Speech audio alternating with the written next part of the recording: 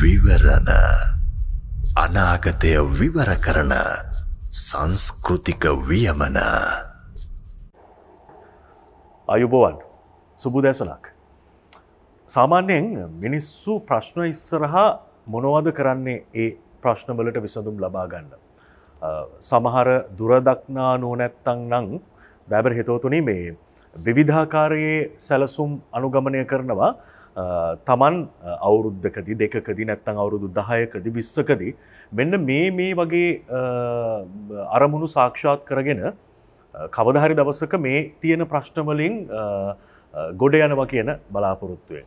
තව සමහරු මිනිස්සු දෙවියන් ඉස්සරහා බුදුන් ඉස්සරහා එහෙමත් නැත්නම් සංහිඳක් පාමුල තමන්ගේ ඉල්ලීම් තමන්ගේ ප්‍රශ්න කියලා යම් ආකාරයක හිතට සැනසීමක් උදා කරගන්න කන්නලව් කරනවා. ඇත්තටම මේ දෙකම පහු කරපු අපේ රටේ මිනිස්සු සරල භාෂාවෙන් කියනවා නම් ශ්‍රී ලාංකික ඡන්දදායකයා මේ වෙනකොට බලාපොරොත්තුවෙන් ඉන්නේ එල්ලඹෙන කුමක් හෝ මැතිවරණයකදී තමන්ගේ මේ බලාපොරොත්තු අපේක්ෂාවන් ඉෂ්ට කරගන්න පුළුවන් විදිහේ පාලකයෙක් පහළ වේවි කියලා. වෙන කවරදාටත් වඩා අවුරුද්දක් පටන් ගන්න මොහොතකදීම දැන් අපි දන්නවා මේ අපි ගත කරමින් ඉන්නේ මැතිවරණ වර්ෂයක්. එතකොට බොහෝ තැන්වලින් පුරෝකතනය වෙන ආකාරයට දෑබර හිතවතුනේ මේ මැතිවරණ වර්ෂය ඇතුළේ අපි හරියට මොලේ පාවිච්චි කළෝතින් අපිට සුදුසු එමත් නැත්තම් අපේ ප්‍රශ්නවලට පිළිතුරු හොයාගන්න පුළුවන් ආකාරණයේ ආකාරයේ පාලනයක් මේ රට ඇතුළේ නිර්මාණය කරගන්න හැකියාව ලැබේවි. එතකොට මේ අවුරුද්ධ ඇත්තටම මැතිවරණ වර්ෂයක්ද මැතිවරණ වර්ෂයකදී ශ්‍රී ලාංකීය චන්දදායකයා කොයි ආකාරයෙන් හැසිරිය යුතුද කල්පනා කළ යුතුද සලකා බැලිය යුතුද කියන කාරණාව අපි අද VFM විවරණ සංවාදයෙන් ගොඩනගන්න සූදානම්.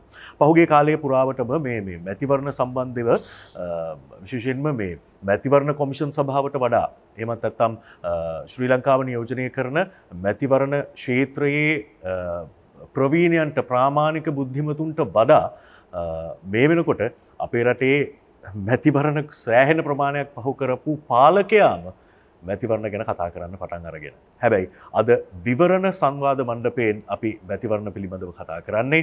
අපේ රටේ මැතිවරණ කිවූ සැනින් ඒ පිළිබඳව අපේ සිහියට නැගෙන අපේ රටේ පමණක් නෙවෙයි ජාත්‍යන්තර මැතිවරණ වේදිකාවේ පවා අපේ රට නියෝජනය කරන ආසියානු මැතිවරණ නිරීක්ෂණ ජාලයේ සභාපති එවගේම පැෆරල් සංවිධානයේ විදායක අධ්‍යක්ෂ රෝහණ හෙටියාරචි මහතා සමගින්.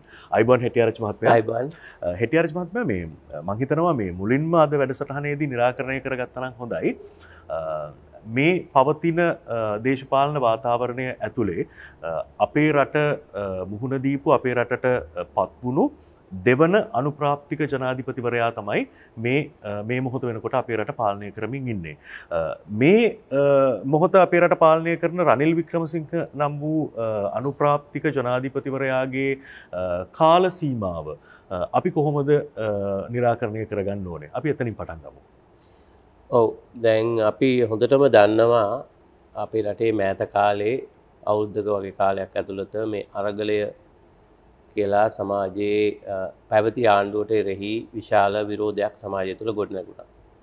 ඒ ගොඩනැගීමේ ප්‍රතිඵලයක් හැටියට එක කොච්චර බරපතල වුණාද කියනවනම් හැටනම ලක්ෂයක් චන්දදීපු විදාහක ජනාධිපතිවරේ අපේ රටේ විදාහක ජනාධිපති බුදුරේ කියන බොහොම බලගතු තනතුරක්. හැබැයි ඒ ජනාධිපතිවරයා තනතුර අත්හැරලා යන තැන්ට කටයුතු සිද්ධ වුණා. ඒ තරමට මහජන මතය ප්‍රබල මට්ටමකට ඒ මොහොතේ එලියට ආවා. ඒක ප්‍රතිඵලයක් හැටියට තමයි මහිතන්නේ ඒ මහජන අරගලේත් විවිධ විදිහට කොටස්කරුවෙක් හිට හැටියට හිටපු දේශපාලන පක්ෂයක ප්‍රධානයක් තමයි වර්තමාන ජනාධිපතිවරයා. ඒවගේම මේ රට කාලයක් පාලනය කරපු දේශපාලන පක්ෂයක පක්ෂනායක තමයි විදාහක ජනාධිපතිවර. තුරේ අරගලේ ප්‍රතිඵලයක් හැටියට තමයි මේ ජනාධිපතිවරයා පත්වවෙන්නේ. ඔහුට ඒ ආසන්නයම තිබුණු මැතිවරණයේදී ඔහුට සමස්ත රටම නියෝජන කරමින් එක් පාලිමිතු මන්ත්‍රී දුරයක්වත් ලබාගන්න හැකියාවක් ලැබුණ නැහැ. හැබැ අප රටේ මැතිවරණ ක්‍රමය අනුව ජාතික ලයිස්තුවක මන්ත්‍රී දූරයක් හිමුණා අදාල් පක්ෂයට ඒ මන්ත්‍රී දුරය ඒ ජාතික ලේෂ මන්ත්‍රී දුරය හරා තමයි වර්තමාන ජනාධිපතිතුමා පාර්ලිමෙන්තුව නියෝජනය කළේ.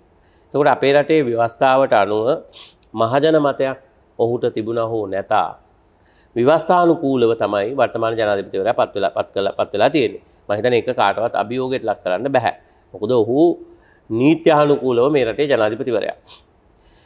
නමුත් මෙතන තියෙන ප්‍රශ්නේ ඔහුට රට පාලනය කරන්න රටේ විශාල පරිවර්තනයන් කරන්න අදාළ තීන්දු ගණ්ඩ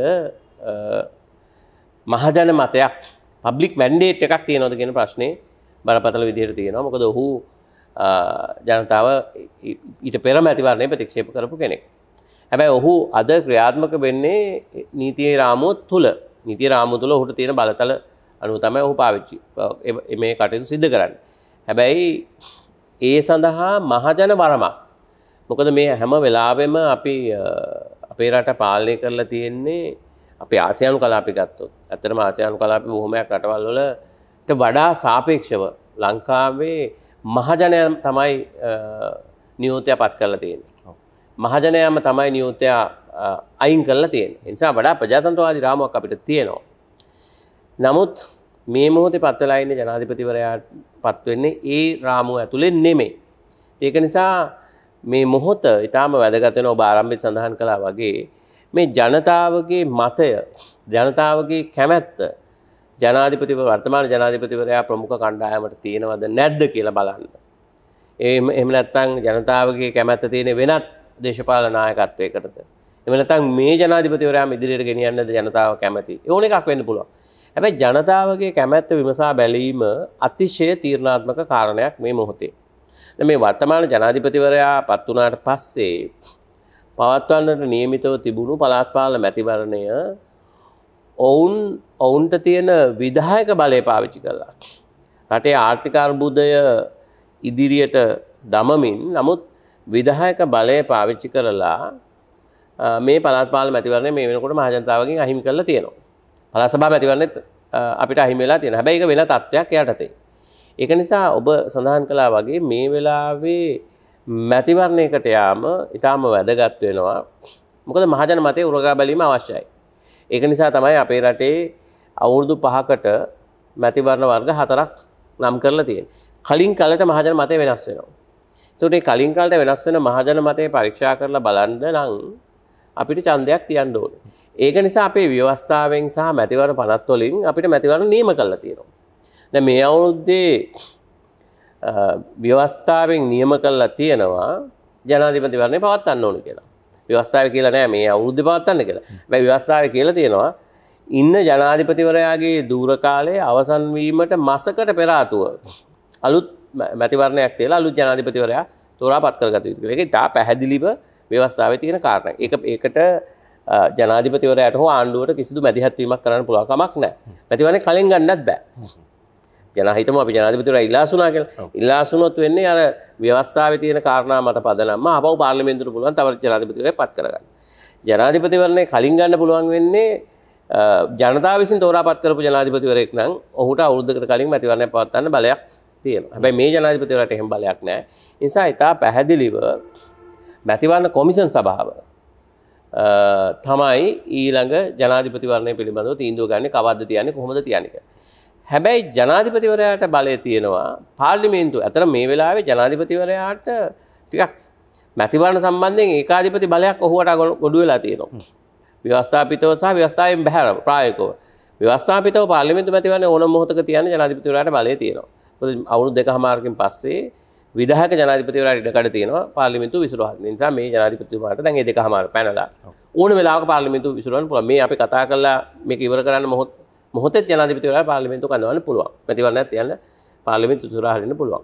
පලාත් පාල මැතිවරණයට ඕනම මොහොතක මුදල් නිදහස් කිරීම හරහා පලාත් පාල මැතිවරණය පවත්ත ගන්න පුළුවන්කොද මැතිවරණ කොමිසම නාමෝජනක් ඇඳවලා අපේක්ෂක සූදානමින් ඉන්න බැලත් පේප සුත්‍යයන් ප්‍රමාණයක් මුද්‍රණය කළ නිසා ඉතුරු මුදල්ටික නිදහස් කළොත් මේ මොහොතේ මාස දෙකක් ඇතුළත පළාත් පාල මැතිවරණය තියන්න බාධාවක් වෙන්නේ නැහැ. පළාත් සභා මැතිවරණයත් ජනාධිපතිවරයාට පුළුවන් ආණ්ඩුව හැටියට ආණ්ඩුවේ බහුතරේ පාර්ලිමේන්තුවේ බහුතරේ ඔහු සතුව තියෙන නිසා පොඩි කෙටි පනත් කෙටුම් පතක් හරහා පැරණි ක්‍රමයට පළාත් සභා මැතිවරණය තියන්න තීන්දුව කරනවා. ඒ නිසා ජනාධිපතිවරයාට ජනාධිපතිවරණය හැර ඕන මැතිවරණයක් මේ අවුරුද්දේ මේ මොහොතේ ඊළඟ මාසේ ඊළඟ සුමානය තියන්න ඒ ක්‍රියාවල ආරම්භ කරන්න පුළ මැතිවරනකට යන මාසුනක් විතර කාලයක් යනවා. බැ ක්‍රියාවල ආරම්භ කරන්න පුළුවන්. ඒ අර්ථයෙන් ගත්තොත් මේ අවුරුද්දේ ඕනෑම මැතිවරණයක් පවතීම හැකයාව තිබෙන හැබැයි නිශ්චිතව එක මැතිවරණයක් තියන්න ඕනේ. ඒ තමයි ජනාධිපතිවරණ ඒක කිසි කිසිම ආකාරයකට එක වලක්වන්න විදාහයකට හැකියාවක් නෑ හැබැයි ඒක උපක්‍රම පාවිච්චි කරන්න පුළන් පළත් පාලය වගේ මුදල් නිදහස් නොකිරීම වගේ තත්ත්වයක් ඇති කරන්න පුළුවන්. ොත් මම හිතන්නේ නෑ එවැනි ක්‍රියාමාර්ගයකට යයි කියලා සාධාරණ සැකයක් තියෙනවා. මොකද එහෙමුණුත් මේ රටේ ජනතාව මේ සාමාන්‍ය ජනතාව පවා මහපාට එන්න පුළුවන්. මොකද මිනිස්සු මැතිවරණයක් බලාපොරොත්තුවෙන් ඉන්නේ අපේ රටේ තමන්ගේ කැමැත්ත කියනවට වඩා තමන්ගේ විරෝධය පල කරන්න. නිසා දැන් පහුගේ කාලේ මිනිස්සුන්ටේ තමන්ගේ විරෝධය පල කරන්න ප්‍රජාතන්ත්‍රවාදී රාමුව තුළ ඉඩකඩක් තිබුන්නෑ ද මේක තවදුරටත් බ්ලොක් කොලොත් වෙන්නේ මිනිසු මහපාරට ඇවිල්ලා තමන්ගේ බාහු බලේ මේ ප්‍රජාන්ත්‍රවාදී දිනාගන්න තනකට යන්න පුළුවන්. නිසා මං හිතන්නේ නෑ ආණ්ඩුව එවැනි තැනකට පාර විවර කරයි කියලා. අඩු වෙන විදිහකට මේ පාලනය කරමින් ඉන්නවා විධ පනත් ගෙනහල්ලා හැබැයි ජනාධිපතිවරණය ඔක්තෝබර් මාසේ මැද දිනයක තියන්න බොහෝදුරට මැතිවරණ කොමිසම ක්‍රියා කරයි. හිටියරච මහත්ම මම කෙටියෙන් දිනවකවානු පිළිබඳව කතා කළොත් දෙදස් දහනමේ නොවම්බර් දහස්සේ වනිදා මේ දුරකාලය ආරම්භ වෙන ශ්‍රී ලංකාවේ අටවැනි ජනාධිපතිවරයාගේ දුරකාලය ආරම්භ වෙන්නේ. එතකොට ඔබ කිව්වාගේ දෙදස් විස්සි හතරේ ඔක්තෝබර් දහස්සේ වනිදාට පෙර මැතිවරණය දහට වනිදාට පෙර මැතිවරණය ප්‍රකාශයට පත්විය යුතුයි ම නිවැරදින එමනද නෑ මැතිවරණය ප්‍රකාශයට පත්විය යුතු නෙමේ. ඔක්තෝබර් දහට වෙන්දාට පෙර සැත්තැම්බර් දාහත සහ ඔක්තෝබර් දහට අතර කාලය කාලය මැතිවරණය පවත්වලා ජනාධිපතිවරයා තෝරා පත් කරගත යුතු වෙනවා. ඒ නිසා ඒ ක්‍රියාවලියට සාමාන්‍යයෙන් දල වශයෙන් මාස 3ක් විතර යනවා. එතකොට මේක අගෝස්තු මාසේ සැප්තැම්බර් මාසේ අනිවාර්යයෙන්ම ජනාධිපතිවරණය ප්‍රකාශයට පත් කරනවා. මොකද නාම යෝජනා වලට යම් කාලයක් එනවා. ඊළඟට අපේක්ෂකයින්ට තමන්ගේ මැතිවරණ ව්‍යාපාරය ගෙනියන්න මගේ මතකයේ හැටියට සති පහත් හතත් අතර කාලයක් ලැබෙනවා. එතකොට මේ සඳහා යම් කාලයක් තියෙනවා. හැබැයි ජනාධිපතිවරයා තෝරාපත් කරලා ඉවර වෙන්න ඕනේ ඔක්තෝබර් මාසේ දහට වෙන්දට කලින් කලින් හොඳයි දැබ හිතතුන මේ දැන් ඔබ මේ දවස්වල සමහර විට මේ මැතිවරණය සඳහා සූදානමින් ඉන්න විවිධ දේශපාලන පක්ෂ වේදිකාවන් වල ජනාධිපතිවරණ දිනය පිළිබඳව කතාභා වෙන ඕනෑ තරම් අහල ඇති.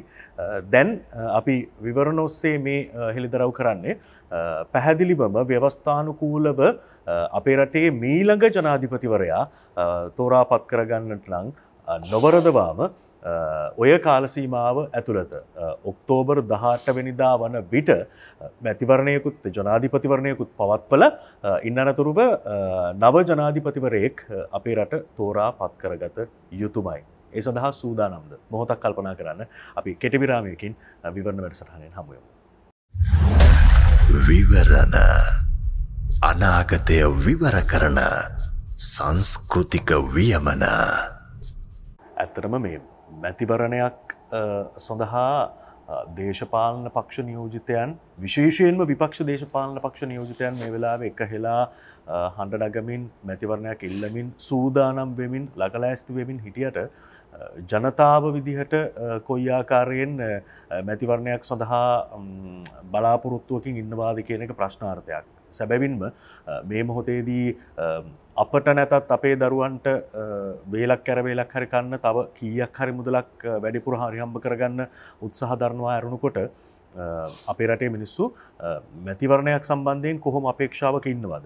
හැබැයි මැතිවරණය තමයි අපේ රටේ මිනිස්සු කැමති වුණත් අකමැති වුණත් සූදානම් උනත් නොවනත් ප්‍රජාතන්ත්‍රවාදය නිරූපණය කළ හැකි ප්‍රජාතන්ත්‍රවාදයේ පූර්වාදර්ශය බවට පත්වන එකම සාධකය. එහින්දා මැතිවරණය කියල කියන්නේ ඔබේ මගේ අයිතියක්. අපි අද විවරණ සාකච්ඡා කරන්නේ මේ වසරේ ශ්‍රී ලාංකික චන්දදායකයා මුහුණ දෙන මැතිවරණ පිළිබඳව ඒ ආසියානු මැතිවරණ නිරීක්ෂණ ජාලයේ සභාපති පැෆරල් සංවිධානයේ විදායක අධ්‍යක්ෂ රෝහණ හෙටියාරචි මහතා සමගින් හෙටියාරචි මහත්මය මේ මම නිවැරදිනං ලෝකයම ගෝලිය වශයෙන් ගත්තත් මේ දෙදස් විසි හතර අවුරුද්ධ කියල කියන්නේ මේ බොහොම කේන්ද්‍රීය මැතිවරණ රැසක් පැවැත්වීමට නියමිත වසරක් නේද.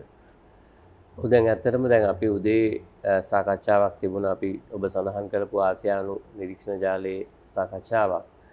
ආසියානු කලාපය විතරක් මැතිවරණ දොළහක් මේ වෙනකොට මේ අවුද්ධ ෂෙඩුල් වෙලා තියෙනවා.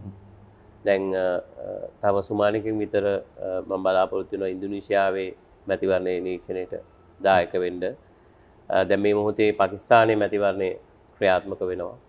ඒ වගේම මාලදිවයිනේ මැතිවරණය ක්‍රියාත්මක වෙනවා මේ වගේ කලාපේ රටවල් ගණනාවක ආසියනු කලාප විතරක් ගත්තත් රටවල් දොළහක මගේ දැනම හැඩි අපි ෂෙඩියුල් කරලා තිබුණා මැතිවරණ ක්‍රියාත්මක වෙනවා. නිසා ලෝක අනිත් රටවලත් එහෙම තමයි.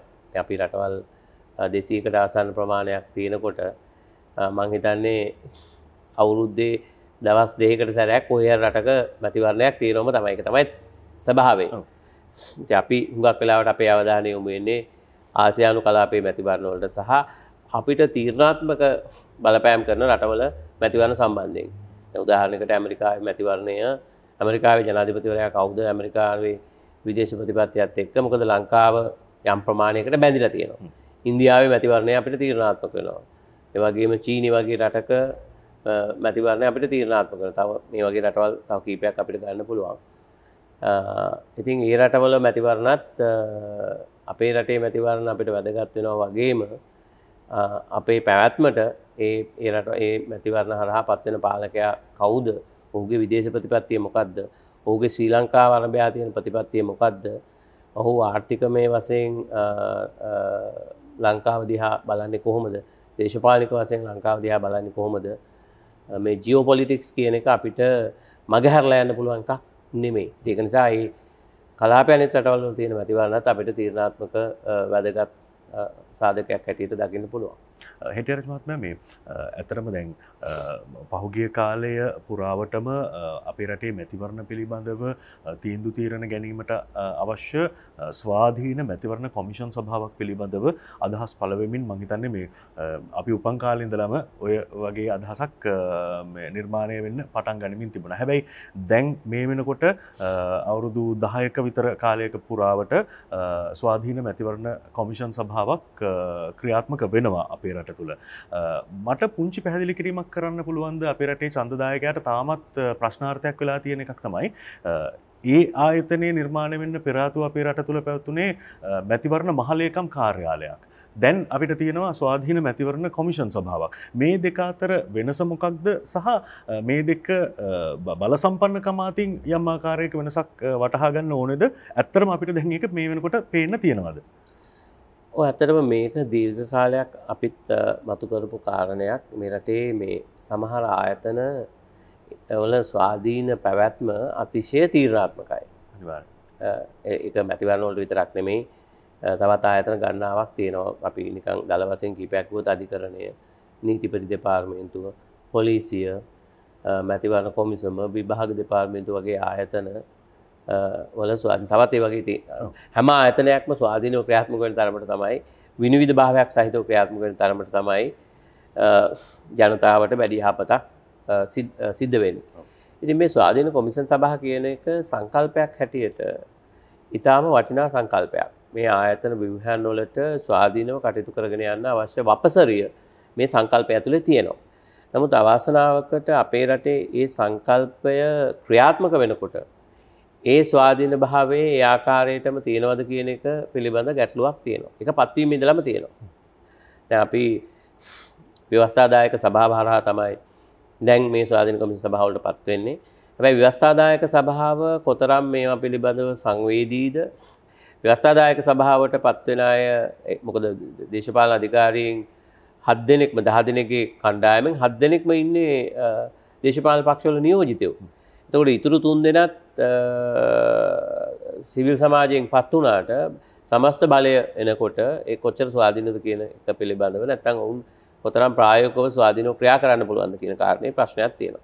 ඊළඟට මේ කොමිසන් සභාවල මේ අලුත් සංශෝධනය අනු විසියකෙන සංශෝධනය අනුව මේක දාහතේ සහ දහනමේ තිබුණ විවෘත්තව නමුත් ජනාධිපතිවරයට විදහක ජනාධිපතිවරයට කොමිසමේ සභාපතිවරය පත් කිරීමේ බලය ගිහිලා තියෙනවා. තකට මෑත කාල මේ කොම සභහ පත්කිරීම දිහා බැලුවහම ඒ පත්කිරීම ඉඳලම ස්වාධීන භාවේ අම්මාකාරයකට ප්‍රශ්නයක් තියෙනවා. මොකද මේ දැන් මැතිවන කොමිසමය බැලුවොත් පහුගේ කාලේ ආණ්ඩුකාරය දූරේ ඉඳලා මැතිවන කොමිසමට එනවා අපි දන්න අනුකාරදූරය කොමද නිර්මාණය වෙන්න කියලා ආණ්ඩුක ඒවගේම මැතිවන කොමිසම ඉඳලා අනුකාරදූරයට පත්ව මේ සමාර නියෝතය පත්වෙනවා. එතකොට මේ අයගේ ස්වාධීනතාවේ මොකක්ද කියන එක බරපත්තල ප්‍රශ්නයක් සමාජයේ කතිකාවට භාජන වෙලා තියෙනවා. ඇබැයි ඒකින් කියන්නේ නෑ මැතිවන කොමිසමට පත්වෙන හැම සාමාජිකයෙක්ම සහ හැම ස්වාධීන කොමිසමට පත්වන හැම හමාජිකම ස්වාධීන නෑ කියලා. සමහල්ලාට පත්වීම දේශපාලික වනත් එතනින් එහාට ස්වාධීනව ක්‍රියාත්මකීමේ හැකියාවත් තියෙනවා. ඉතින් ලෝකෙ කොහෙවත් ප්‍රශස්තම තත්ත්වයක් කියලා අපිට ගන්න බෑ ඇමරිකාවේ ගත්තත් ඉන්දියාව ගත්තත් අපි ආසියනු කලාපේ දැවන්තම ප්‍රජාන්ත්‍රවාදය හැටියට ඉන්දියාව සලකන්නේ.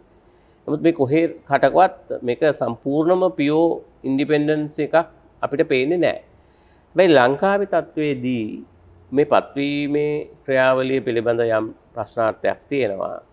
එක මේ හැමෝටම එක හා සමානවා දාල නැහැ.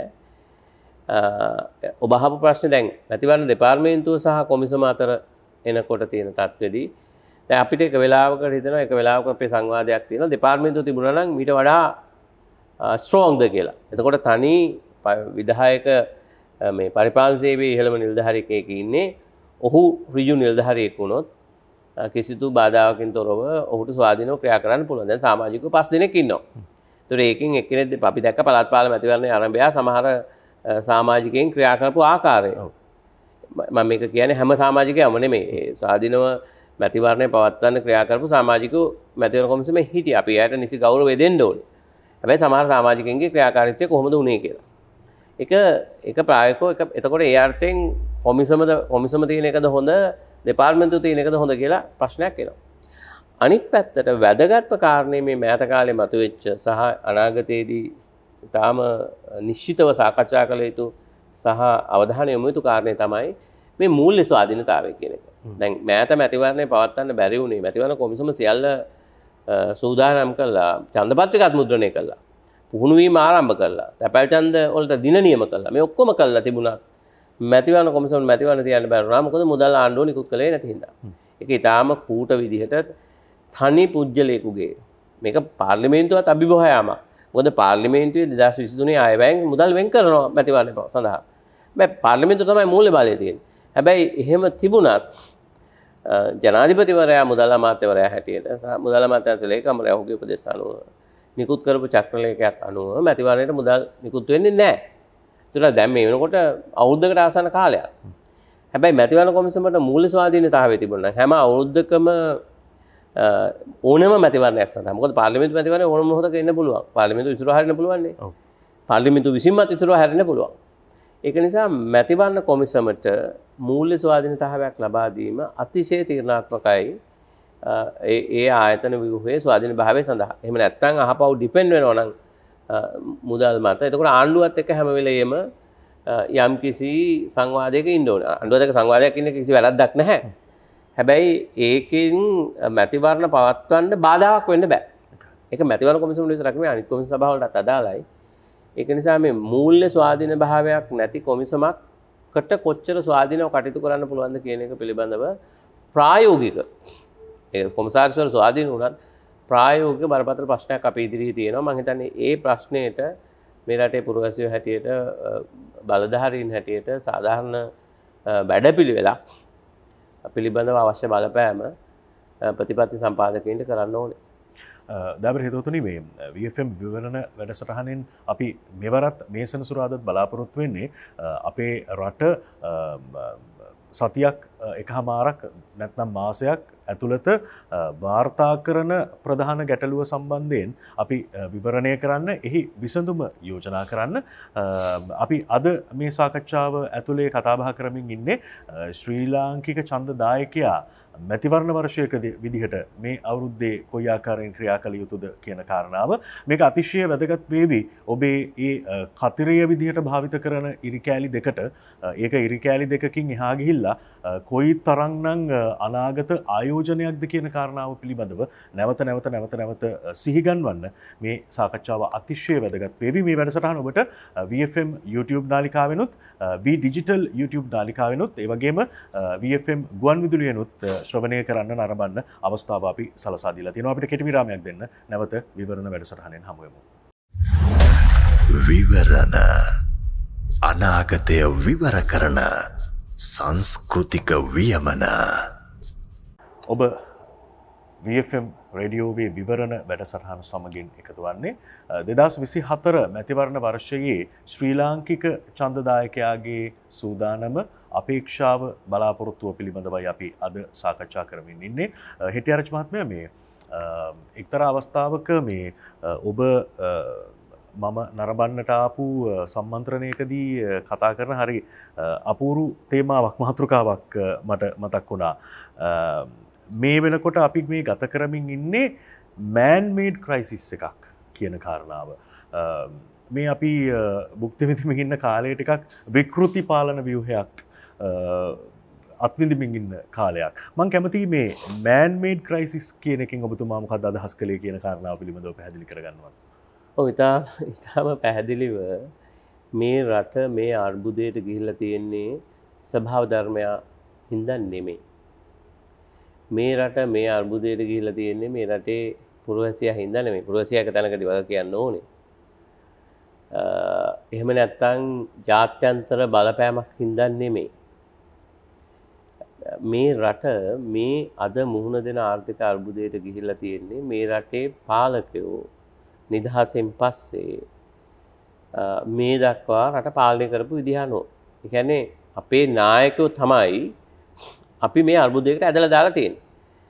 එක දැනුවත් වෙන්න පුළුවන් නොදැනුවත් වෙන්න පුළුවන්. හැබැයි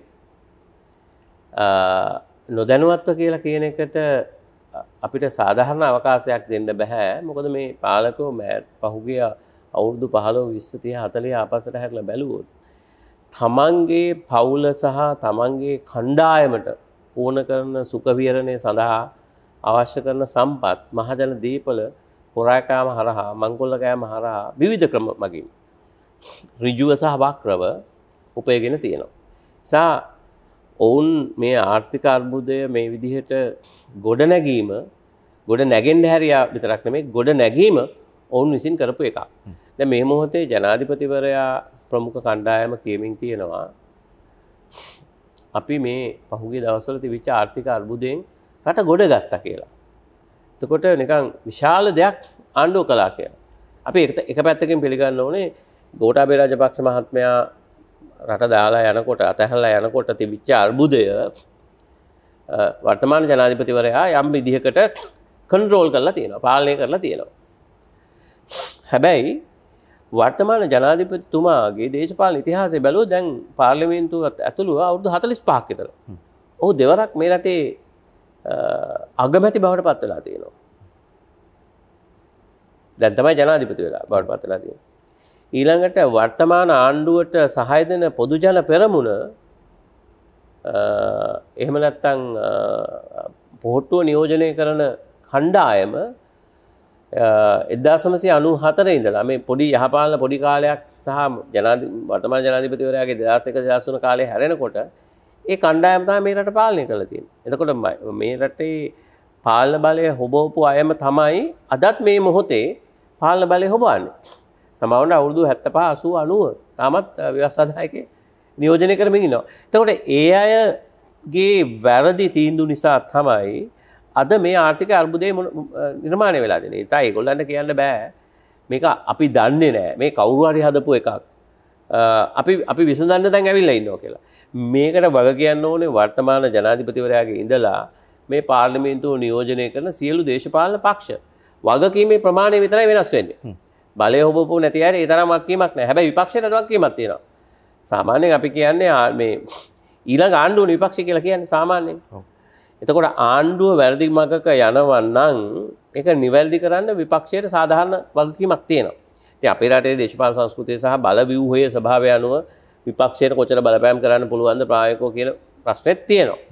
හැබැයි ඒ තමන්ගේ සීමාව තුළවත් ඔවුන් ඒ බලපෑම සිද්ධ කරනවද කියන එක පිළිබඳව අපි අපි හිතල බලන්න ඕන නිසා මේක ඉතා පැහැදිලිව අපිව මේ දක්කල් පාලනය කරපු පාලකෙන් හදපු අර්බුදයක් ඔවුන්ට ආර්ථික දැක්මක් නොමැතිකම විෂන් එකකින් තොරව රට පාලනය කිරීම එක පැත්තක් තියෙන.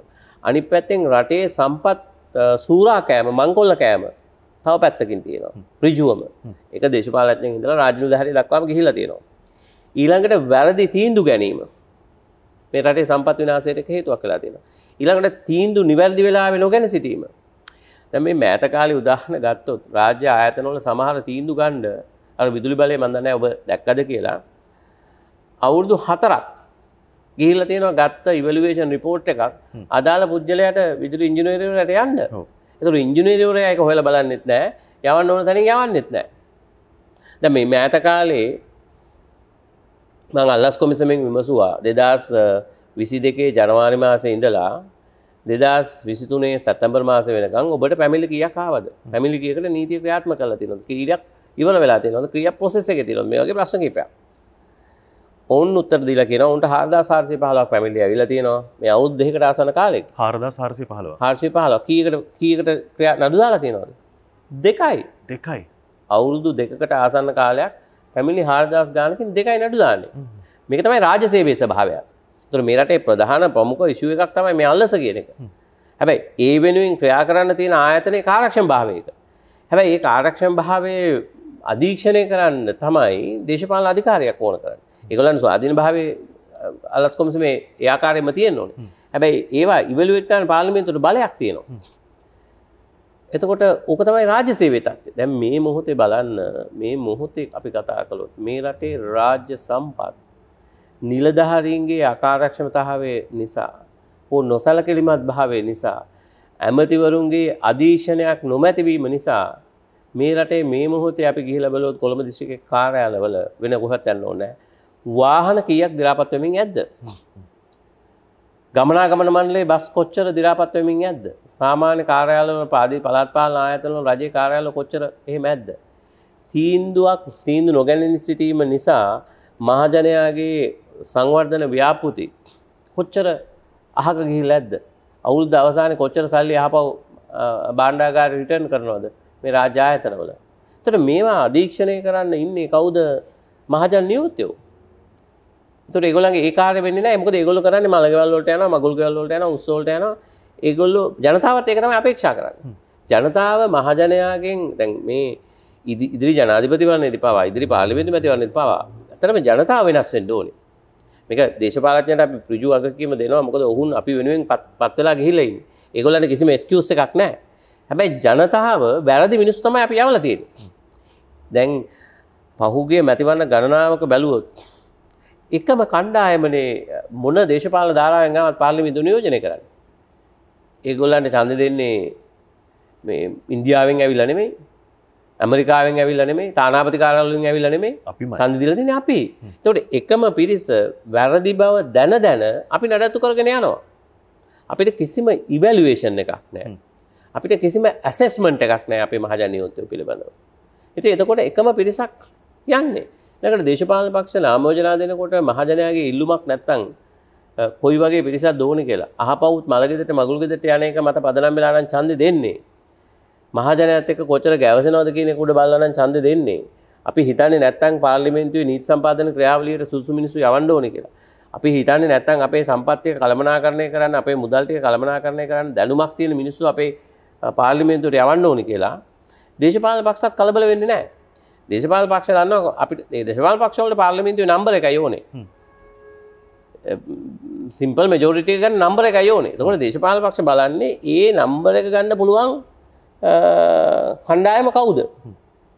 එතකොට ඒක නිවැරදි කරන්න නම් මහජනයාගෙන් ඉල්ලුමක් එන්න ඕනේ. අපිට අපිට ඕනේ මෙන්න මේ જાතියේ බඩු පාර්ලිමේන්තුවට කියලා. එහෙම නොකරන තාක්කල් අහපව මැතිවරණ ඇතිව දැන් අපි පැෆ්‍රල් එක හැටියට මැතිවරණ වෙනුවෙන් අරගල කරනවා. හැබැයි අහපව මැතිවරණ තිබ්බට වැඩක් නැහැ. අහපව පත් වෙන්නේ එකම කණ්ඩායම නම්. විවිධ නම් වලින් එකම කණ්ඩායම නම් පත් වෙන්නේ. මොකද ඒ කණ්ඩායම අසාර්ථකයි කියලා මේ වෙනකොට ඔප්පු කරලා තියෙනවා. ඒක නිසා තමයි මේ ආර්ථික අර්බුදයක් තියෙන්නේ. ඒ අයට ආර්ථික දැක්මක් නැහැ කියන එක. ඒ ඒ පිරිස ගන්න ණය කලම ණය විදේශ ණය කළමනාකරණය කරගන්න දන්නේ නැහැ කියන එක. දැන් මෑත බලන්න මේ වෙනකොට සෞඛ්‍ය සම්බන්ධයෙන් යන ප්‍රශ්නේ අපිට හම්බෙච්ච ණයවලිනුත් මේ ඉන්දියන් ක්‍රෙඩිට් ලයින් එකෙන් ආපු එකනුත් කොච්චර ගසා කාලාද? ඒ අය අහපව ආය ආය ආයෙත් ඒ ඒ ඔය කියන අදාළ විෂය අමාත්‍යවරු කී පාරක් දැන් පාර්ලිමේන්තුවේ ඉන්නවද? එතකොට මිනිස්සු ඒක ගැන සංවේදී භාවයක් නැහැනේ. එතකොට එහෙම වුණොත් ඊළඟ මැතිවරණ තිබ්බ කියලා මිනිස්සුගේ විරෝධය පළ කලා කියලා මේ ආන් මේ ආණ්ඩුවට විරෝධය පළ කල්ලා තව කණ්ඩායමක් ඒ වගේම ගෙනහල වාඩි කලාට වැඩක්න ස මිනිස්සු ඇසෙස් කරන්න ඕන. ඉවල්ුවේට කරන්න ඕන තමන්ගේ නියෝතය ගැන. තමන්ගේ නියෝතයට ඒ කාර්භාරය කරන්න පුළුවන් හැකියාවක් දැනුමක් තියෙනවද කියලා බලන්න ඕන. එහෙම බලලා චන්දය නුදුන්නොත් එහෙම නැතන් එවැනි අය ප්‍රතික්ෂේපන කොළොත් අහපවසරයක් දේශපාල පක්ෂ මේ කණ්ඩායම බලටෙන නිසා ලොකු වෙනසක් වෙන්නේ නෑ අපිට අහපව් අහපව් ණය ගනිමින් මේ අපි දැන් ණයෙම අරගෙන අපි දැන් හිරවෙච්ච තැනකට ඇවිල්ලා තිබුණා. දැන් අපව IMF එක හරහා දැන් මේ මිනිස්සු බලපතල වෙස ආර්ථික ආර්ථික හිරවීමක මේ රටේ ජනතාව ඉන්නේ. දැන් අහපව් මේ දැන් ලෝකලි ආණ්ඩුව ටැක්ස් ගහනවා මිනිස්සුන්ගේ රුපියල් ටික එකතු කරගන්න. හැබැයි ওই රුපියල් ටිකෙන් අපේ ඩොලර් ප්‍රශ්න විසඳ ගන්න බෑ. එතකොට මේ වෙනකන් ආණ්ඩුව අපිට පේන්නේ නැහැ පැහැදිලි ආර්ථික වැඩපිළිවෙලක්. අපේ විදිස විනිමේ ප්‍රමාණය වැඩි කරගන්න වැඩ පිළිවෙලා ක්‍රියාත්මක වෙන බව පේන්න මේ රට තුළ රුපියල්ටික කළමනා කරණය කරන්න ඇත මිනිසුන්ගේ ටැක්ස් ගහන එක ගැන ආණ්ඩුව ක්‍රියා කරමින් ඉන්න ඒවත් කිසිම රැශනල එකක් නෑ දැන් ආණ්ඩුවම ජනසංකයාලයකන දෙපාර්මේන්තුවම කියනවා හතර දෙනෙක් ඉන්න පවුලකට එක්ලක්ෂ විසිදහක් ඕන කියලා. දැන් සාමාන්‍ය පවුලක අපේ හතර දෙනෙක් ඉන්නවනේ. එක්කෝ නෝනයි මහතයයි දරුව දෙන්නේ. ඒම නැත්තං නෝනයි මහත්තය එක දරුවයි අම්ම තාත හමනි මිනිමම් හතරක් අපේ පවුලක ඉන්නවා. තුර පවුල එක්කෙනෙක් නම් වැඩ කරන්නේ එයාට හම්බෙන්නේ ලක්ෂණං එක්ලක්ෂ දහදාහනම් පඩිය. එතුර එයා හතර දෙනා නඩත්තු කරන්න එක්ලස විසිදහක් ඕනේ. හැබැයි එක්ලස දහදහ උනපුගම ලක්ෂ පැලපුගම එය බද්ධකුත් ගෙවන්නුන් මැකැන ආණ්ඩුවෙල්ල සංඛ්‍යාලයකනත් එක්කම ආණ්ඩුවේ ප්‍රතිපත්ති අතර පරස් පර ඇත්ති නොන එතන එහෙමනගේ එකයි විස්සක් ඕන නං හතර දෙනෙක් ඉන්න පවුලක ආණ්ඩුවම කියනවනම් එතකොට එක එක්ලක්ෂ දහදහ පරිගන්න කෙනක ටැක්ස් ගහන එක හරිද? මකැන රටක් දියුණුවෙන්ඩ ටැක්ස් ගහන්ඩ ම ටක්සල් විරුද්ධ කෙනෙක් නෙමේ ටැක්ස් ගහන්න දියුණු රටවල් කියන රටවල් හුගක් ටැක්ස් ගහනවා. හැබැයි ගහන ටැක්සොල ප්‍රතිලාබේ මිනිස්සුන්ට එනවා. ඒ වගේ මේ ගහන ටැක්ස් සමාජ යහපතට පාවිච්චි කරනවා කියලා මිනිසුන්ට විශ්වාසයක් තියෙනවා.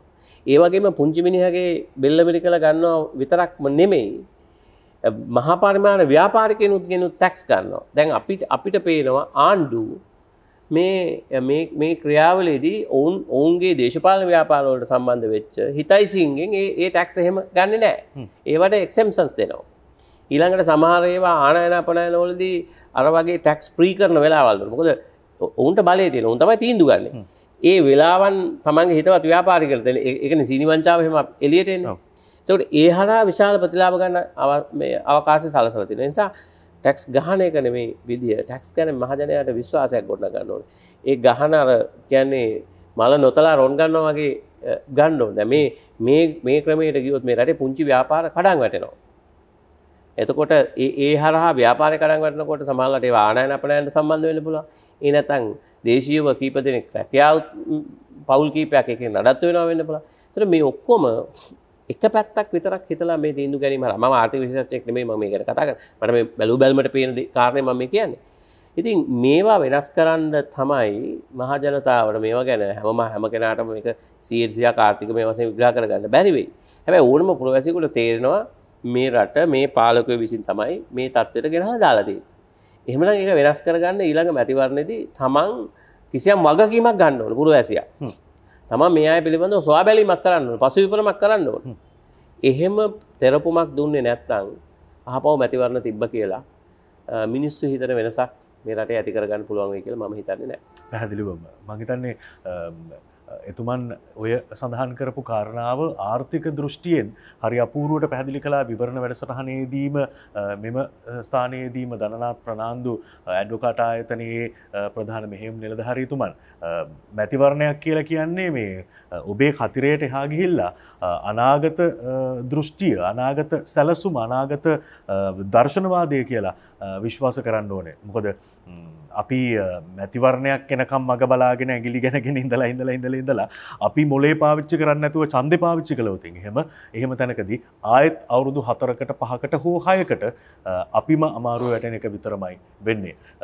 අපි මේ විවරණ කතාබා කරන්න ඉතාම සුවිශේෂී තැනක හෙට තමයි අපේ රටේ හැත්තෑ හය වෙන නිදහස් දිනය. එතකොට හෙට නිදහස් දිනය සමරන්න සූදානමින් ඉන්න අද තුන්වෙනිදා උදෑසන අපේ රටේ ඇත්ත නිදහස වෙනුවෙන් ඔබටයි මටයි තියෙන වගකීම ගැන තව පොඩ්ඩක් හිතන්න අපි අද විවරණ අලුත් පැයදි හමුවම මොහොතක් දෙන්න. විවරණ අනාගතය විවර කරන සංස්කෘතික වියමන ඔබ නැවතත් විවරණ සංවාදය සමගින් දැවර හිතවතුනි මේ මේ වැඩසටහන ඔබට FM එකසිය හත ඔස්සේ VFM ගුවන් විදුලියෙන් ලංකාවේ ඕනෑම තැනක සිට ශ්‍රවණය කරන්න පුළුවන්. පමණක් නෙවෙයි VFM YouTube නාලිකාවෙන් සහ ඩිජිටල් YouTube නාලිකාවෙන් මේ වැඩසටහන නැරඹීමේ පහසුකමත් අපි ඔබට ලබාදිල තියෙනවා. විශේෂෙන්ම දෙදස් විසි හතර මැතිවරණ වර්ෂයේ ශ්‍රී ලාංකික චන්දදායකයාගේ වගකීම පිළිබඳවයි අපි අද සාකච්ඡා කරමින් ඉන්නේ. ආසියානු මැතිවරණ නිරීක්ෂණ ජාලයේ සභාපති එවගේම පැෆරල් සංවිධානයේ විදායක අධ්‍යක්ෂ රෝහණ හෙටියාරච්චි මහතා සමගින්. හෙටියාරච් මහත්මය මේ දැන් අපේ රටේ චන්දදායකයා මේ වෙලාවේ ඉන්න තව මානසිකත්වයක් තමයි දැන් මම කතිරගහලා පත්කරගත්ත ම කතිරගහපක්නට තමයි ලංකායි ගොඩෝදිනි කතිරගහල ජනාධිපතිවරය කරලා තියෙන හැබැයි දැන් එයා නෙමේ ඉන්නේ අප මම ඕන් නෑ කියලා හිතා හිතපු ජනාධිපතිවරයෙක් තමයි දැන් ජනාධිපති වෙලා තියෙන. එතකොට දැන් මම මගේ දිස්ට්‍රික්කෙන් චන්දදීපු කෙනා පසු පෙළ අසුනක ඉන්දෙද්දී ඒ මැතිවරණයටම වෙන පක්ෂකින් ඉල්ලපු කෙනෙක් දැන් ඒ අදාල ඇමති දුරේ අපි වෙනුවෙන් කරන්න ඕන ඇමති දුරේ බාර්ගෙනන්නවා මේක පොඩි විකෘති භාවයක් පෙන්නුම් කරනවා පාලනය ඇතුළේ සාමාන්‍යෙන් වෙනදරත් අපි කරපුවා පිළිබඳව අපි විඳවන අවස්ථාව ඕන තරම් තියෙනවා හැබැයි මේ වෙලා නිකං චන්දදායකට හිතනීම හිතමෙන් තියෙන මේක මේ අපි කරපු එකක් නෙමෙයිනි වගේ එකක් ඇතරම් මැතිවරණයකදී මෙහෙම ප්‍රතිඵලයක් අත්වෙන්න පුළුවන්කම තියෙනවාද ඕ දැන් ඇතරම ඔබ කිව්ව ආකාරයට මේක පුංචි දෙයක් නෙමේ මේක බරපතල විකෘතියක් මේක තියෙනවා. දැන් මැතිවරණ වලදී තියරටිකලි සහ ඒගොල්ලන්ගේ දෘෂ්ටිකෝණයෙන් මේක ප්‍රක්ටිකලි අපිට පේනවා වෙනසක් නෑ කියලා. හැබැයි මේ ප්‍රධාන විරුද්ධ දේශපාලන බලකඳවුරු දෙක තමයි මැතිවරණයේදී එකිනෙකාට මඩගසා ගනිමින් එකිනෙකාගේ නුසුදුසුකම් ප්‍රකාශයට පත් කරමින් එකිනෙකාට පහර ගසමින් මැතිවරණය ජයග්‍රහණය කරන්න. එතකොට ගෝටාබේ රාජපක්ෂ මහත්මය ඇතුළු ඒ කඳවුර එක්සජාතය පක්ෂය ඇතුළු අනිත් කඳවුරට සම්පූර්ණම එරහිව ඒ තමන්ගේ මැතිවරණ ප්‍රකාශය ගෙනියන්න. තකොට ජනතාවගේ කැමැත්ත අභිලාසය ඉල්ලන්නේ අරකට සමස්ත සම්පූර්ණම වෙනස් පරමාර්ථයන් ඉදිරියට එකතු කරමි මෙතන් ජනතාව කැමැත ගන්න එහෙම. තකොට ජනතාව එපා කියලා අයින් කරපු කණ්ඩායම තමයි එක්ෂ ජාති පක්ෂේ කණ්ඩායම ඒ මොහොතේ. එබහපව අය වෙනස් වෙන්න පුළුවන් මහජන ආය හිතනවනම් මේ ජනාධිපත්තුමා හොඳට වැඩ කරනවා කියලා අපව එක්ෂ ජාති පක්ෂේ සවිබල වෙලා අප මෙහට එන්න බල එක මහජන කැමැත්ත. එතකොට දැ මේ මැතිවරණදී එහෙම එපා කියපුම කණ්ඩායමේ ප්‍රධානයා අඩුම තරමෙන් පාර්ලිමේන්තු ආසනයක්වත් මැතිවරණයේදී ජයග්‍රහණය කරගන්න මිනිස්සු විලකට දීපු නැති නායකෙක් රටේ විදායක බවට පත්වෙනවා. එතකොට ඒ අයට විරුද්ධව හඬනගපු පාර්ලිමේන්තු කණ්ඩායම පාර්ලිමේන්තු මැතිවරණයේදී ඒ ප්‍රතිපත්තිවලට එරෙහිව කරපු හඬ මතු කරපු අය නැත්නම් ඒ සජාතිපක්ෂ ප්‍රමුඛ කණ්ඩායම පරාජය කරන්න සටන් පාට කියපු අය විවිධ මහ බැංකු මංකොල්ල වගේ විවිධ දේවල් කියපු අය ඊළඟ මොහොතේ තමන්ගේ දේශපාල බල පැවැත්ම පැවැත්ම වෙනුවෙන් අර පාර්ශවය එකට එකතු කරග. මහිතන මේ රටේ මිනිස්සු තේරුම් ගන්න ඕනේ මේ පොලිටිකල් ගේම් එක. මේක ඇත්තටම දේශපාල ගේම් එකක් එකන එකින එකා පවත් තම තමන්ගේ පැවැත්මාරම්භයා මේ ඌනෑම දෙයක් මේ මහජනතාවට මේ ප්‍රතිපත්ති කියලා මේ කරන්නේ සම්පූර්ණ බොරුවක්. ප්‍රතිපත්ති ප්‍රකාශන මංහිතන්නේ මහින්ද රාජපක්ෂ මහත්මයාගේ ප්‍රතිපත්ති ප්‍රකාශන යම් ප්‍රමාණයකට යම් අවස්ථාවල්දී ඔවුන් ඔවුන්ගේ අයවැයට ඔවුන්ගේ පාර්ලිමේන්තු ප්‍රතිපත්ති ප්‍රකාශනයට ජනාධිපති ප්‍රතිපත්ති ප්‍රකාශනය මේ දෙක එකතු කරපු අවස්ථ යම් ප්‍රමාණයකට තියෙනවා. ආපව් දිනසීයේ තමයි යමක් මේ ප්‍රතිපති ප්‍රකාශනත් එක පායකෝ එලියට ආවේ. එතකොට මේ මේ සියල්ල මේ ඉතිහාසය පුරාවටම බැලුවොත් මේ එකම දේශපාලන පක්ෂ මේ පක්ෂයක්වත් එක් මහිතන එකම කියල කියන්න හොඳ නෑමක දෙහෙම නැති දේශපාලන ධාරාවන් අපේ රටේ තියෙනවා. ප්‍රධාන ධාරාවේ දේශපාලන පක්ෂ අපිට ඔප්පු කරලා තියෙනවා මේ දේශපාලන ප්‍රතිපත්තියක් උඩ නෙමෙයි අපි වැඩ කරන්නේ අපේ පැවැත්ම සඳහා කියලා. ඒ ඒකේ ප්‍රතිඵලයක් තමයි මේ වර්තමානය අපිට ආණ්ඩු ජනාධිපතිවරයා සහ ආණ්ඩු ආණ්ඩුවක් හැටියට ගොඩනැගිලා තියෙන හැබැයි මේක නීත්‍යානුකූලව අපේ රටේ ව්‍යවස්ථාවano කිසි ප්‍රශ්නයක් නැහැ හැබැයි මැන්ඩේට් එක මම හිතන්නේ එක පැත්තකින් නීතිය ඊටාම තීරණාත්මක ව්‍යවස්ථාවට අනුව පත් වෙලා තියෙන නිසා වර්තමාන ජනාධිපතිතුමාට එරෙහිව අපිට වචනයක් කියන්න බෑ. උගේ පත්වීම සම්බන්ධයෙන්. හැබැයි මේ ඔක්කොම දෙන්නේ කවුද? මේ නීති හදන්නේ මේ රටේ මූලික නීතිය කවුරු වෙනුවෙන්ද? මේ රටේ පුරවැසියා වෙනුවෙන්. මේ පාලකව පත් කරන්නේ කවුද? කැමැත්ත අකමැත්ත ප්‍රකාශ කරන්නේ කවුද? මේ රටේ පුරවැසියා. එතකොට පුරවැසියාගේ අභිමතයට එරෙහිව තමයි අලුත් නීතිය ඇතුළේ වුණත් මේ නායක පත් කරගෙන තියෙන. ඉතින් ඒක නිසා මේක පැහැදිලි විකෘතියක්. මේ විකෘතිය නැති කරගන්න පුළුවන් ඇබැයි විකෘතිය නීති අනුකුල යහපව. නීතිය නීතිය අභියෝගට ලක් කරන්න බෑ. මේක නිවැරදි කරගන්න පුළුවන් තැන තමයි අහපව මැතිවන්නකට යාම. මැතිවන්නකට කියලා සමහර වෙලාවට වර්තමාන ජනාධිපත්තුමා ඇතුළු ඒ කඳවුරම ජයග්‍රහණය කරන්න පුළුවන්. එක ඒක ජනතාවගේ කැමැත්ත. එක එක තොට පබ්ලික් මන්ඩේට එකත්තින තොට මිට වඩා ශක්තිමත්ව එකට එකට මුණ දෙන්න පුළුවන්. ඒ මැන්ඩේටේ ක්‍රියාත්ම කරන්න පුළුවන්. හැබැයි එහෙම නැතුව තවදුරටත් මේ දැමීම හොතෙත් රට ඉතා ප්‍රබල නීති සම්පාදනය වන දැන් ඔන්ලයින් සේප්ටි බිල්ල එක කියලා. බිල්ල එක ඒකද කතානායකතුමා සංකලපු ගමන් එක නීතිය බාඩ පත්වෙනවා හැබැයි සේෆ්ටිය එක පුරවැසියටද? ඔන්ලයින් සේෆ්ටිකන් සේෆ්ටික දේශපාලච්චයට. බැලු බැල්මට තියෙන මෙරටේ යම් යම් කාරණා සම්බන්ධයෙන් නීති සම්පාදනය වීම සහ සීමා පැනවීම අවශ්‍යයි. නිදහස කියන එක අර අපි කියන වල්බූරුන් දහසක් වෙන්න බෑ. සමාජ මාධ්‍යයේ එහෙමවා තියෙනවා. එතකොට ඒවා යම් විදිහක පාලනයක් වෙන්න ඕනේ. හැබැයි මේ නීති මෙතෙක්කල් ක්‍රියාත්මක කරලා තියෙන දැන් මේ මොහොතේ මේ ඔන්ලයින් සේෆ්ටි බිල් එක නැතුව කී දෙනෙක් අත්අඩංගුවට අරන් තියෙනවා සමාජ මාධ්‍ය ප්‍රකාශ සම්බන්ධයෙන්. ඒක නීතිය දැන්ටමත් තියෙනවා අපිට ක්‍රියාත්මක කරන්න. දැන් මේ උත්සාහ කරමින් තියෙන්නේ මේ වගේ නීති ගේන්න මේ වෙලාවේ මේ මැන්ඩේට් එකක් නෑ එකයි මගේ තර්කය. මොකද මහජනයාගේ බහුතර කැමැත්ත දිනාගත්ත කණ්ඩායමක් නෙමේ මේ නීති ගේන්නේ. මොකද ඒ අය මහජන අරගලය කාලෙ දැන් එක තර්කයක් තියෙන පුළුවන්. අවුරුදු පහකට බලයට පත් වුණ හම ඒ අවුරුදු පහක කාලය උන්ට ආණ්ඩුවක් කරගෙන යන්න පුළුවන් කම තියෙන්න ඕන්. මොකද අපේ රිකෝලි සිස්ටම එකක් නෑ හැබැයි මහජන පෙළගැස්මක් බරපතල විදිහට ආව. රටේ විශාල ආර්ථික අගහදයකට ගියාල් විශාල විශාල පසුබෑමකට ලක් වුණා. තොට එවැනි තත්ත්වයක අලුත් මැන්ඩේට්යකින් තොරව ක්‍රියාත්ම කිරීම වල සුජාත භාවයක් නෑ ති එවැනි වටපිටාවක මේ වගේ බරපතල නීති සමහරය හොඳයි බවවෙන්න පුළුවන්.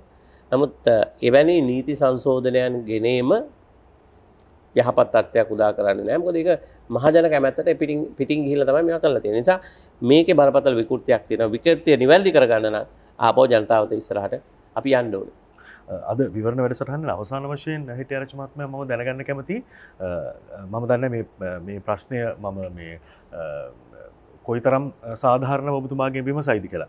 එක පැත්තකින් අපි දකිනවා සමහර දේශපාලන වේදිකාවල සමහර දේශපාලන පක්ෂවල කෘත්‍යධිකාරී මණ්ඩල තුළ මැතිවරණය පැවැත්වෙන දිනය යෝජනා සම්මත කරගන්න.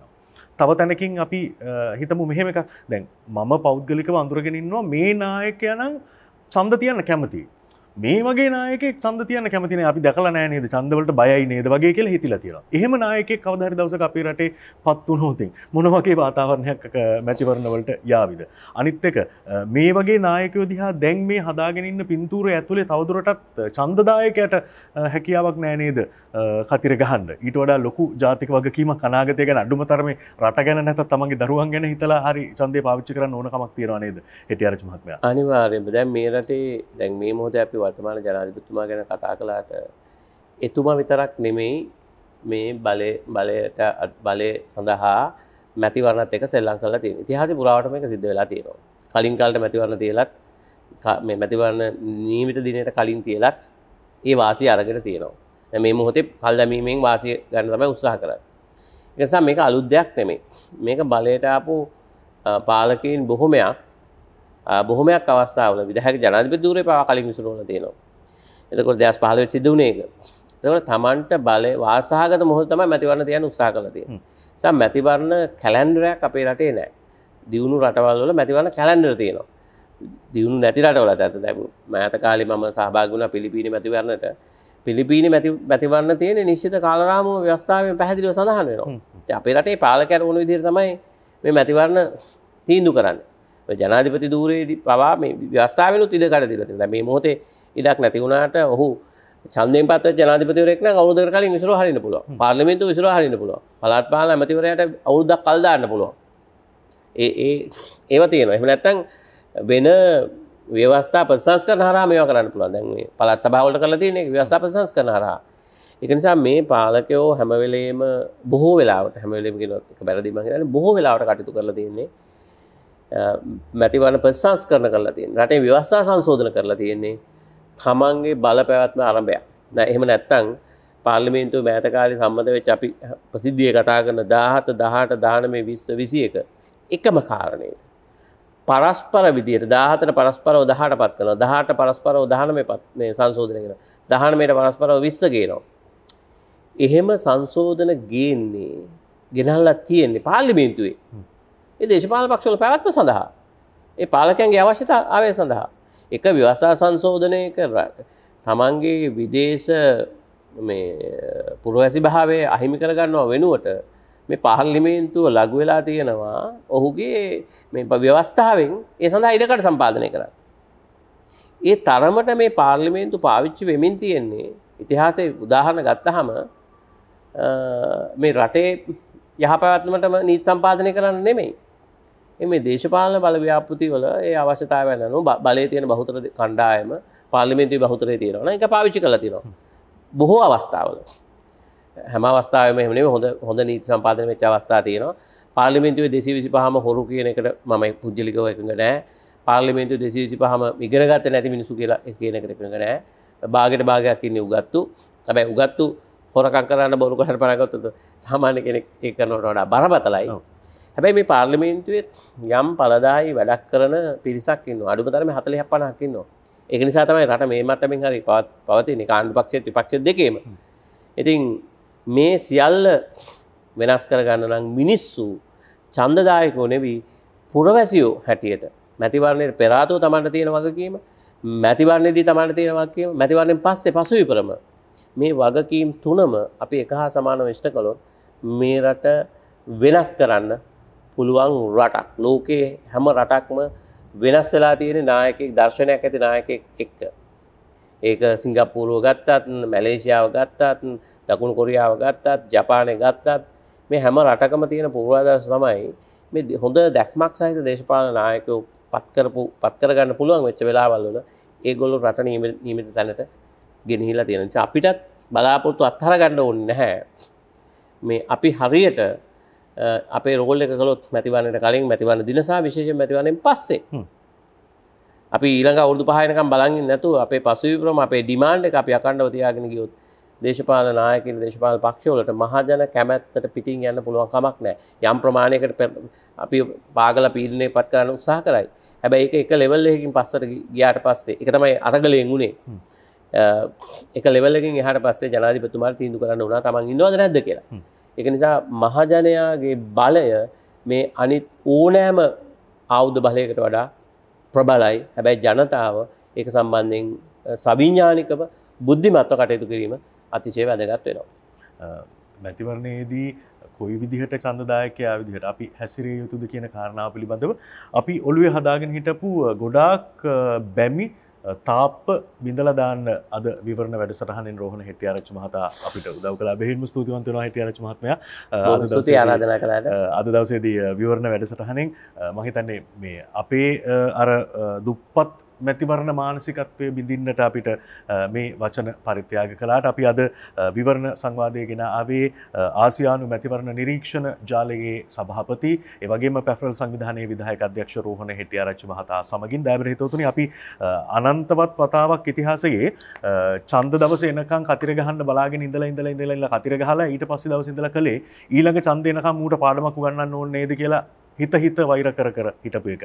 හැබැයි මේ පාර අන්න ඒ අරමුණ වෙනස් කරගමු අපි අවුරුදු පහක් නිවී හැනහිල්ලේ අපේ බලාපොරොත්තු ඉටු කරන පාලනයක් ගොඩනගා ගන්න පෙළගැහෙමු කියන ආරාධනාව කරමින් හෙටින් උදාවෙන් අපේ හැත්තෑ හයවෙනි නිදහස් දින සැමරුම අපි අභිමානයෙන් සමරලා ඊට වඩා සතුටින් හැත්තෑ හත්වෙන් නිදහස් දිනය සමරනවා කියෙන බලාපොරොත්තුව හිතේතියාගමු සමුගන්නවා. අපි විවරණ වැඩසටහනෙන් ලබන සෙනසුරාදා නැවතුමුණ ගැම ඔබට සුබ දවසක්. විවරණ අනාගතය විවර කරන සංස්කෘතික වියමන